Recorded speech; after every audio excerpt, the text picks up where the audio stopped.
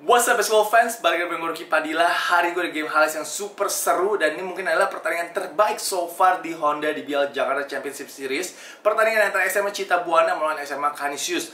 Pertama-tama gue mau ngomong Man, ini mungkin adalah salah satu pertandingan SMA terbaik yang gue pernah nonton Selama gue uh, meliput pertandingan SMA untuk YouTube channel gue So respect untuk kedua tim ini dan juga seluruh pemain yang sudah memberikan uh, all their hearts for this game. Pertandingan sangat berkelas banget dan yang pasti tegangnya dapet banget. So dari Canisius ada pemain jersey nomor 28 namanya Albert. Albert berhasil mencetak 16 poin dan 11 rebound. Sempat kaget sedikit gue kemarin saat di kuarter kedua uh, Albert mencetak back to back basket lalu ditarik keluar di sub dan baru masuk lagi di akhir kuarter ketiga. Tapi mungkin ini disimpan energinya sama pelatihnya agar di kuarter 4 bisa bermain bagus untuk Canisius. Lalu ada pemain jersey nomor 1 semoga gue gak salah pronounce namanya Isaac Darmawan. Uh, Isaac juga hit some clutch shot untuk uh, Canisius kemarin di kuarter keempat dan dia selesai dengan 8 poin. Sekarang kita pindah ke Citabuana di mana ada duo bintang mereka Azril dan uh, Atwell yang berhasil mendominasi pertandingan ini.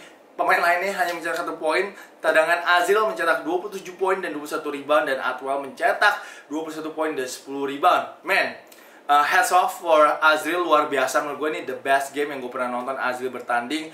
Yang lebih proud lagi membuat gue proud itu adalah Azril memperlihatkan leadership skill ya di pertandingan ini. Dia mencoba untuk memimpin teman-temannya nih untuk mencoba mencari kemenangan di pertandingan ini. Jadi gue bener bangga banget sama Azril dan ini the best game dia. Dia bener ngotot banget dan Atwell he's a warrior man. Dia udah kram kayaknya tuh pahanya udah wah udah kayak mau kram satu badan tapi tetap berjuang untuk sekolahnya. Bener gue uh, juga seneng banget melihat Atwell seperti itu. So uh, shout out to Atwell dan juga shout out to Azril. So guys sekarang kita langsung ke highlightsnya aja nih. Kalian pasti udah nunggu-nunggu pengen lihat highlightsnya. Keren banget sih highlightsnya. Jangan lupa untuk like jangan lupa untuk komen and jangan lupa untuk subscribe. Thank you for watching. Enjoy the highlights